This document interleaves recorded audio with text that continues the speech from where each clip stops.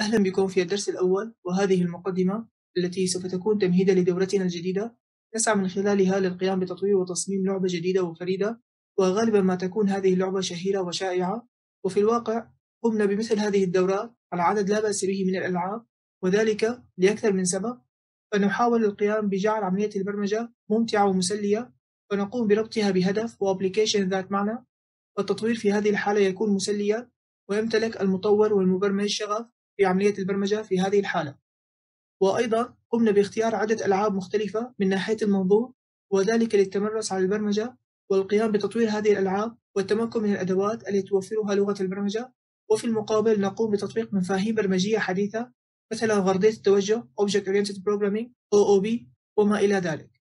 وبشكل مشابه لما استخدمناه في تطوير الألعاب فسوف نقوم بالاعتماد على لغة البرمجة جافا وسوف نقوم باستخدام المحرر ال IDE NetBeans. واللعبة التي نسعى للقيام بتطويرها هي فروغر بحيث اللاعب ضمن هذه اللعبة يتم تجسيده كضفدع يحاول القيام بعبور الشارع دون الاصطدام بالسيارات وهناك الكثير من النسخ الخاصة بهذه اللعبة فمثلا إذا قمنا بالاطلاع على أنواعها نراها بهذا الشكل دعنا نقوم بالذهاب إلى الصور؟ نرى هنا الأنواع المختلفة والعديدة لهذه اللعبة كما نرى أمامنا. وسوف نسعى للقيام بتطوير نسخة خاصة بنا دعوني مثلا أقوم بالتجريب على إحدى هذه النسخ ولدينا هنا هذه اللعبة والتي أعتقد تم تطويرها على ال PlayStation 1 وهي تم إصدارها عام 1997 تمام؟ فيجب علينا القيام بتجاوز هذه السيارات دون القيام بالاصطدام أو الوقوع في الماء وما إلى ذلك. وفي حال اصطدام بالسيارة يتم الانتهاء من اللعبة والعودة من البداية. وهكذا. ومن النسخ الأخرى مثلا هذا التصميم دعنا نقوم بالإطلاع عليه. لنبدأ اللعب.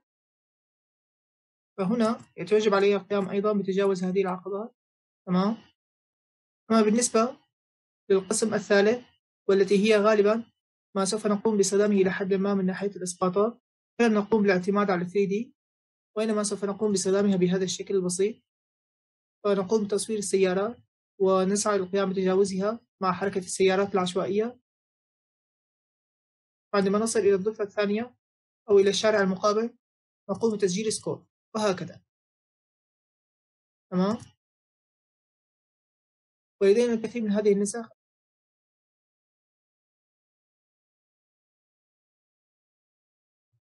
وسوف نرى خلال الدروس اللاحقة كيف نستطيع القيام بتطوير هذه اللعبة شيئا فشيئا بدءا من application فارغ. ومن ثم نسعى لتطويره بشكل تدريجي وكما قلنا الغاية هي ليس تصميم لعبة مثالية مكتملة الميزات وال features وإنما سوف نسعى للقيام بتصميمها بعناصرها الأساسية بحيث عندما نقوم بالانتقال إلى الطرف الآخر نقوم بتحقيق score ويجب علينا القيام بتجاوز هذه السيارات التي تسير بشكل عشوائي ويتم إنتاجها بشكل دوري. وإلى هنا نكون قد وصلنا إلى نهاية درسنا لليوم. أرجو أن يكون الدرس قد نال إعجابكم وألقاكم في الدرس القادم. سلام.